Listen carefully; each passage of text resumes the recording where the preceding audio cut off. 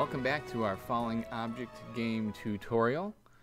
Uh, in this video we are going to be looking at how to set up our player script and get him moving back and forth. So player movement and handling the edges of the screen is our goal for today.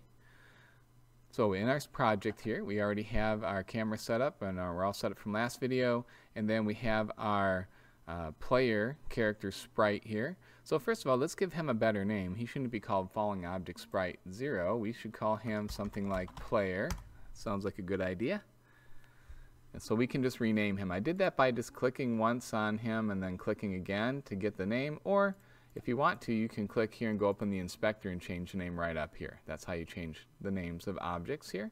So our player game object has a name and if you look over here in the inspector he's got a transform which gives his position, his rotation, and his scale. And then we also have uh, a sprite renderer. This is what actually draws him to the screen. So it says which sprite to draw. It's our sprite from our sprite sheet that we sliced up last time. Uh, and there's some other settings that we can play with here, but we really don't need to right now. Um, that just draws him uh, onto the screen. If he doesn't have a sprite render, if I uncheck this box, which means the sprite render is not active, he disappears still in the scene, but he's not being drawn. So that just draws him to the scene. Okay, so we're going to make a script for our player. So um, I've already created one here, but to make a new C-sharp script, you just hit create in the project panel, C-sharp script, give it a name. Uh, I call mine player script. Remember, you don't put any spaces in the name of a script. You're going to have issues later on. And then we'll open that script up in uh, MonoDevelop. So here's my player script, just empty uh, basic script. So we're going to go back to our project overview text file that I had here that's going to kind of direct us through our game. And uh, here's our player, that's who we're working on today, and we define some behaviors we want him to have. So we want him to be able to move left and right using the arrow keys and the A and D key, and we either want to block him at the edges of the screen or have him wrap around. Uh, shooting bullets and being hit by bullets, that's going to have to be for another day because we're not going to have bullets in our scene yet. Um, so we're just going to work on these first two items here, moving left and right and blocking at the screen edges. So back in Unity here, let's take a look at uh, what's going on. So what I want to have happen is when I hit the left arrow or the A key, I want my player to move like this, this way. Okay.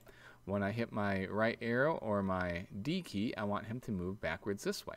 We're not going to allow him to move up or down. We're going to keep him stuck right down here at the bottom of the screen. So our first uh, goal here, our first problem to solve is how can I get input from the keyboard? Now, when you are putting a game together, when you are programming, what you have to do is you have to identify a problem that needs to be solved in your code, and then you have to figure out how to solve that. And you want to just chop these problems up into small little parts. So we've got the bigger uh, problem here of moving back and forth and blocking at the, the screen edges and moving with the keyboard keys. So the first step in that would be pressing the key. That's the first event that has to happen in our game for our player to move, is pressing keys and responding to input. So in Unity, we have some really nice built-in input type tools. Uh, so I'm going to go up here to Edit, and I'm going to go to Project Settings, and then to the Input. This is going to give me what's called my Input Manager. So in the inspector here now, I have my Input Manager, and, and it might look like this when you first open it. You can just hit that arrow to flip that open. And inside of here you have a bunch of axes. Okay, these are all pre-set up uh, controls. Um, the one that I want is this first one called horizontal. You're going to have this as well because this is default settings in a Unity project. So I'm going to flip that open. Um, an input axis has a name, so you can customize the name here if you want. I'm going to leave it as horizontal. Uh, and then it has the a place for us to specify a negative button and a positive button. So this is already set up to have a negative button, that's the left arrow. This is the right arrow we have an alternate negative button, which is the A key, and then the alternate positive is the D key. And these other settings you can just leave alone. These are already set up to work well with uh, keyboard. So this horizontal input here is already set up to do what we want because we want to move our player with the left and right arrow keys and the A and the D key. So this one is already set to go. So now we just have to figure out how do I get access to this horizontal input from our script. So that's what we'll do next. So I'm going to go into the script here and let's go to our player script. So anytime we do movement, movement happens over time.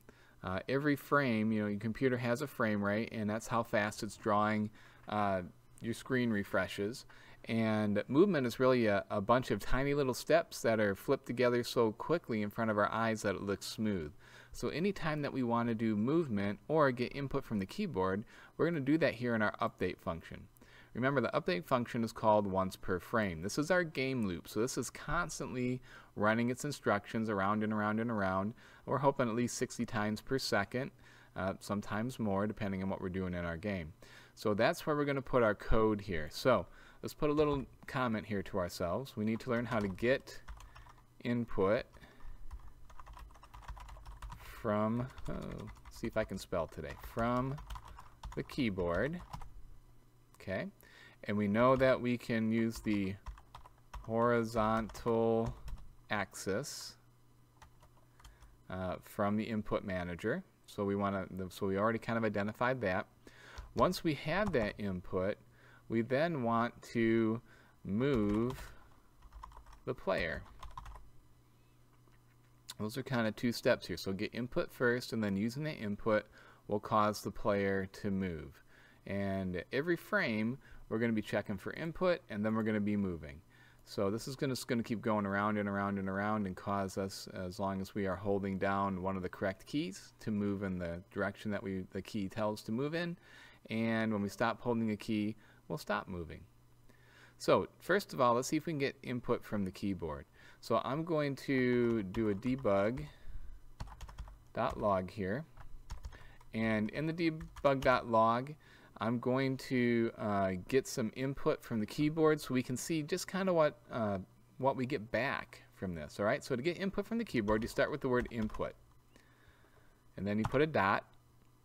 And then you say get axis, this one right here.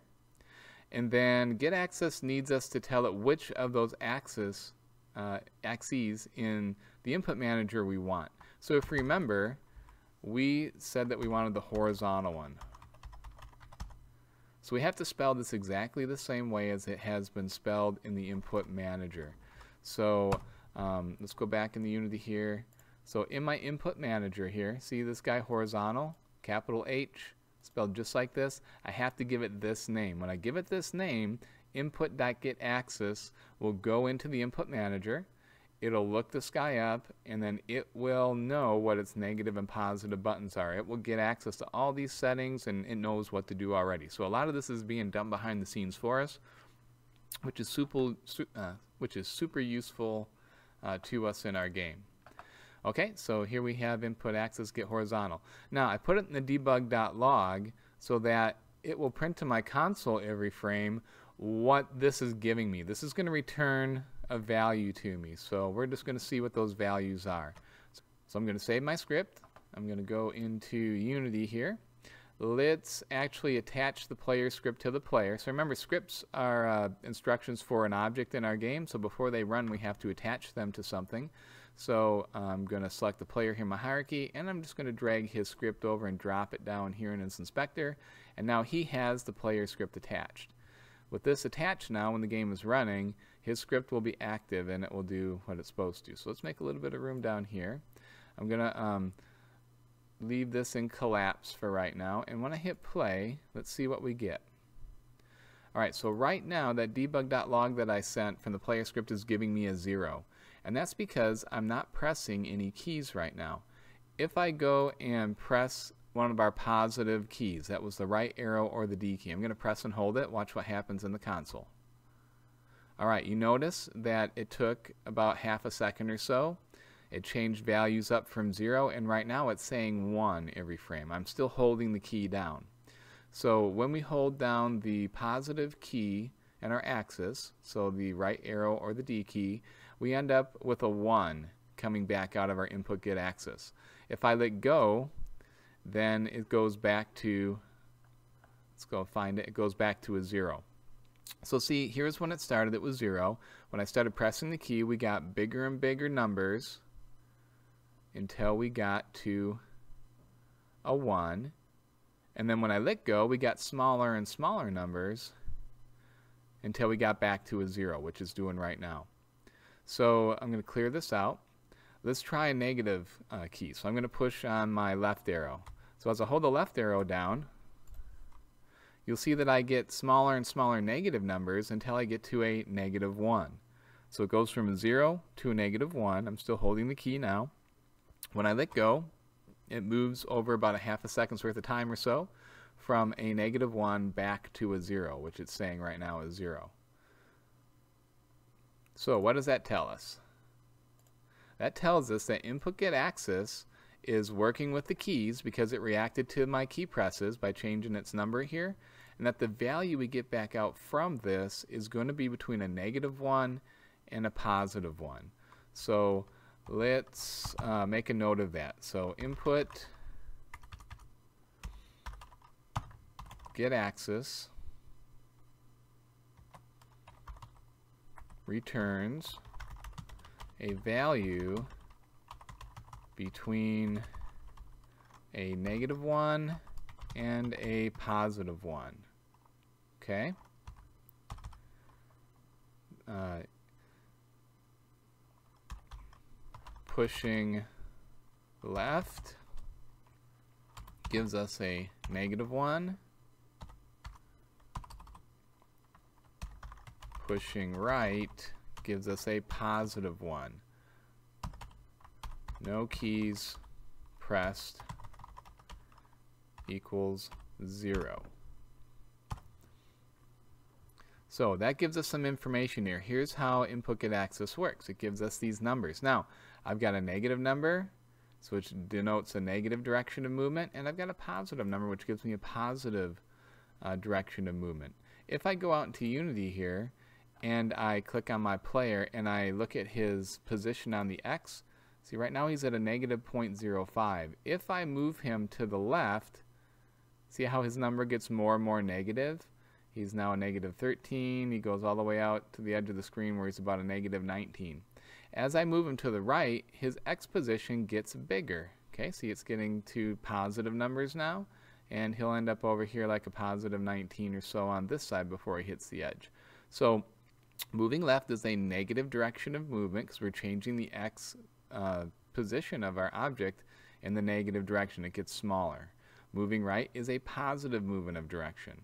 Okay, that's why input get axis is set up to get positive 1 if we're on a right directional key and a negative 1 on a left directional key. So we can use input get axis to tell the computer which direction, uh, which way to change the x coordinate of our, of our player.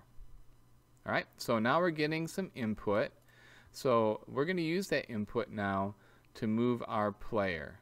Okay, so this was just kind of our test here, uh, and I'll just leave that there for now. So how do we use this to move? All right, so here's uh, what we're going to do. We are going to actually, in this case, directly change the x coordinate of our player a little bit each frame, either in a negative direction or a positive direction, to give us some movement. So we're actually going to go into the transform of our object and we're going to change the value that's right here in this box in X. So Unity's got some nice built-in commands for us to do this. So we're going to say transform. So that means go to the transform of our object and a dot and then we're going to say translate with a capital T. This translate with a capital T is a command. And here it tells me that I need to give it a vector 3 translation. A vector 3 is just an xyz coordinate or an xyz amount that we want it to move. So it's going to move the transform. The transform is the position, rotation, and scale of my object and the direction and distance of the translation. The translation is the amount we want it to move. That's as what's called a vector 3. Um, so I'm going to um, say vector vector 3 I'm going to say vector 3 dot right. This is a shortcut. All right, so if I say vector 3 dot right, this is going to make a vector 3 that has um, a 1 in the x amount, a 0 in the y, and a 0 in the z. So really, when you make a vector 3, so let's talk about this for a minute. A vector 3 is an x, y, z uh, coordinate or an amount of movement. Okay, you can use it for a couple of different things. So um, a vector 3 right would be the same thing as me saying uh, vector 3 and then I could actually specify in here an x amount to move so that'll be a 1 and then I would say 0 and a 0 okay so vector 3 right says move 1 on the x move 0 on the y 0 on the z it's always in this order x y z so I could actually write it like this as a vector 3 or a vector 3 right is like a shortcut that just already has the 1 0 0 in it so a lot of times in our code, that's what we use. So I'm going to say right here, if I can spell it correctly, vector 3 right. So let's see what that does when we when we uh, when we say transform.translate vector 3 right in our game. All right, let's clear our console out for right now. All right, so when I hit play, I want you to watch what happens up here to my player. I want you to watch what happens right here in the X position of the transform. So here we go. And there he goes. He just zoomed right off the screen. Do you see how his X position here is getting larger? Every frame he is moving uh, to the right. Okay, and his X position is getting bigger. Here, let's bring him back. Let's slide him over here to the side of the screen. Let's do it again. Here he goes. And he zoomed off the screen. Okay, that's because in my script here, I told it transform.translate. I said go into the transform, here's my transform, and translate it. Trans to translate something means to change it, to move it from one point to another. Um, and I told it change the x by one every frame to the right. Okay, so every frame to the right, he's moving one unit, he's moving really fast. Okay. All right, so that is movement. So now how do we combine movement with our input here because we've looked at how to get our input with the input get axis horizontal and we looked at how to move with the transform.translate. So we got to kind of combine these two together. So transform.translate vector 3 right gives me just a, a constant movement of 1 uh, on the x-axis. So if I take that 1 times a value uh, such as my input get axis whoops, not get key, get axis. Um, and then horizontal, so I'm just going to type this in here. Okay, so we got to combine these two together. Um, so we're going to say vector 3 right times input get axis horizontal. Now, this, we already know what this does because we did it here. This is going to give me a number between a negative 1 and a positive 1. Okay? This, vector 3 right, we talked about that. The vector 3 right, so let's just uh, make a note here. Right is equal to a 1, 0, 0 in our vector 3. So that means it's going to take this amount, this number here, negative 1 to positive 1, and it's going to take that times all three of these uh, coordinate positions. So anything times 0 is 0. So we're not going to get any movement on the y or the z. On the x, though, we're going to get 1 times whatever this is. So if I'm on a left key, this will be a negative 1. 1 times a negative 1 is a negative 1. So it's going to transform, uh, translate my player on the x-axis in a negative direction, which uh, negative direction is to the left. If I'm on no keys, input get axis horizontal is going to give me a 0. 0 times 1 is going to be 0. We're not going to have any movement at all. We're going to sit still. If I'm pressing on the right arrow key, I'm going to get a positive 1 back from this. So a positive 1 here times a positive 1 here would equal a positive 1, which will make me move to the right. So that's how we combine these two guys together. So let's save this and test it out in our scene. I should now be able to control him left and right with the keyboard keys. So we're hitting play. You notice that he's standing still. I'm going to push the right arrow key and there he goes to the right. When I stop pushing, he stops. If I go to the left, he goes to the left.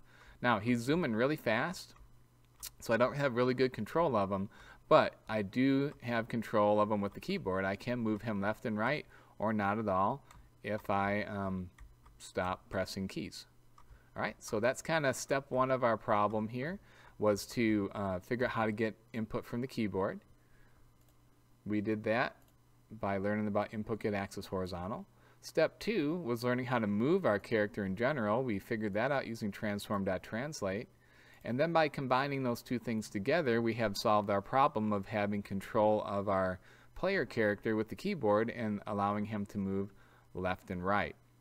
So our next problem is uh, control because he's moving way too fast and we don't have very good control of him. We also have a problem here of update being a frame-based uh, function, which means it's running once per frame. So our speed right now is being controlled by how often update runs. That's hooked to my frame rate. So if uh, you understand how computers work, depending on your processor and your graphics card and other factors in your computer, your frame rate is going to not be consistent. Frame rate is going to change uh, over time depending on what you're asking the computer to do. It's also going to be different from computer to computer. So an older computer that doesn't have as good of a processor or maybe graphics card is not going to be able to draw frames as quickly as a brand new, you know, top of the line, newest equipment type of a computer. So that's a problem. You want your games to run consistently between um, different machines. So to solve that problem of frame rate, we have to make sure that we're moving our objects based on a certain amount of distance over time instead of a certain amount of distance per frame. So right now we're moving one Unity unit per frame and we want to get that to be one Unity unit per second. So to do that, we just add a little more to our our uh, list of things we're doing here. So we have vector 3 right times our input, which gives us a value right now between a negative 1 and a positive 1, depending on what key we're pressing. And we're going to take all that times something called time dot delta time. Time is the built-in Unity time functions. Okay, we can get the, the, the time clock uh, and other things in here. Uh, when you're playing your game, there is a clock that is running. And what delta time is, is delta time is how much time has passed between the last frame that was drawn and the current frame. So remember, this happens in between frames. So this is keeping track of our frame rate, and it's keeping track of how much time it takes between each frame. And when we use that, uh, that will cause our movement here to be chopped up over a second worth of time because all these small little decimal fractional seconds of time when they're added up over one second of our update function running will equal up to one. So that'll make this now move one unit per second instead of one unit per frame. So let's go out into Unity and see how this uh, works now. So when I hit play and I push on my right key, you notice that he's moving, but now he's moving a whole lot slower than he was before. I can still go both ways, but now he's moving and his speed should be consistent. It's uh, moving one unit per second in Unity right now.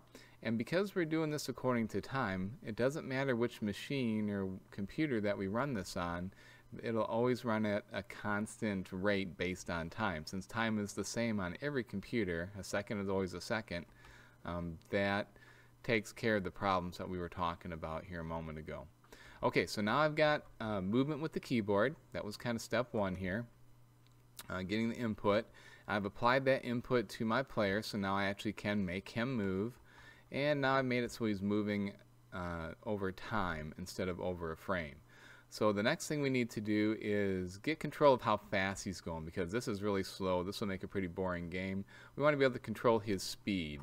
So that means we need to go back into our script and we need to define a variable that we can put a value in that will allow us to uh, control the speed that our player moves at. So let's put a variable up here at the top of our script and we'll just make this public so we can play with it out in the inspector and we'll just call this speed uh, and the type of variable I'm going to put here is an int. We'll just use an integer here.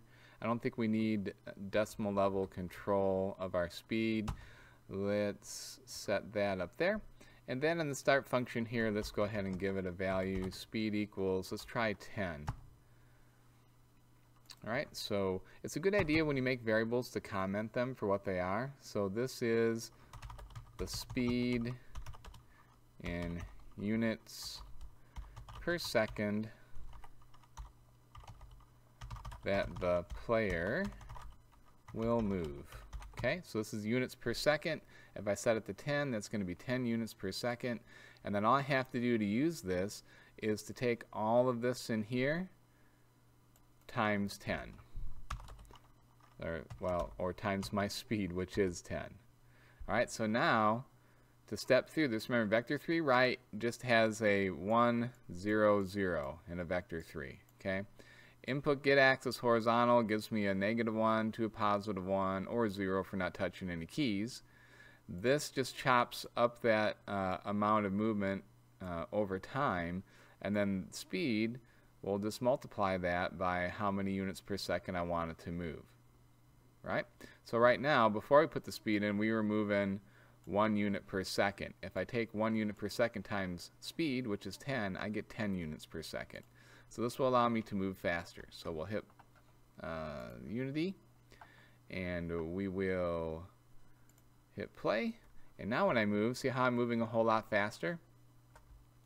So I'm moving back and forth uh, in here, and um, that's probably not a bad amount of speed to move in, but we can play with it. One of the nice things about having your public variables here, like if I make this into a 20 instead, and go click back in my game window, now I'm moving at 20, so you can see how fast that is. That might be maybe a little too fast. Um, so then we can kind of play, we can say, well, what about 15? And, you know, 15 isn't bad. That gives us a little bit more speed to work with. So somewhere in there, uh, you just play with it till you find a value that you like. Um, now, one thing to notice is, see how I've got it 15 right now? When I stop play mode, it's going to pop back down to uh, whatever it was before. So it's 0. I'm setting that in the start function. So when I hit play again here, it's going to go back to 10. So if you want it to stick and you're doing um, an assignment here inside of your script, then you're going to have to go back in and change the value. Okay. The other thing we could do is we could just not initialize speed at all. We could take this line out and then speed will be zero but then if I establish a speed like 15 out here in the inspector and I hit play alright I've set the value here. When I stop my play mode it'll keep it. So you can also do that and just set the value of your variables out here in the inspector. Um, and if I'm in play mode and I change this value to let's say 20 and then I stop playing it's going to go back to what I had at the beginning. So it will remember what you had before you hit play. That allows you to make some changes and when you come back you've got your original settings and if you found something like better you just have to go in and change it outside of play mode. Okay, so now I've got my player moving back and forth and I've got control over how fast he's moving and that's very useful to us through this speed variable. Okay, so our goal was to try to get the player to move back and forth Uh, using keyboard input